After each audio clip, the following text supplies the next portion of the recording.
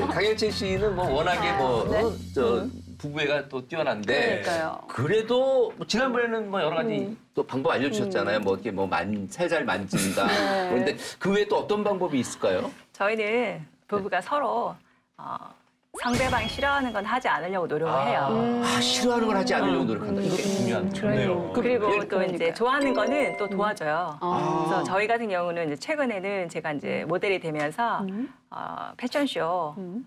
런웨이 하는 걸 정, 말 좋아하거든요. 무대 놀이. 음. 그래서 저희 신랑이 레드카펫을 사줬어요. 아, 우와, 진짜로요? 차에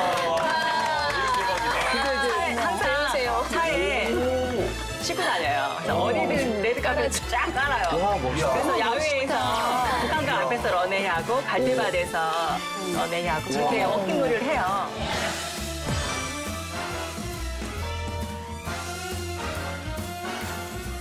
호텔 안에도 그 레드 그 깔려져 있을 텐데 그것도 모자라서 차까지 연결해가지고 항상 어디든 가는 그러니까 곳은 패션쇼를 하는 거죠. 결국 이제 남편이 좋아하는 걸 도와주는 거죠. 공주님처럼 대하는 그러니까요. 네, 그래, 그러다 보니까 그런 활동에서 같이 교감이 되고 소통이 되니까 네. 그게 이제 밤 시간까지 쭉 연결되는 거죠. 하루 종일. 그렇죠 이제 어, 밤까지 시간을 끄는 거예요 카페. 종일 너무 기분이 좋은 거예요.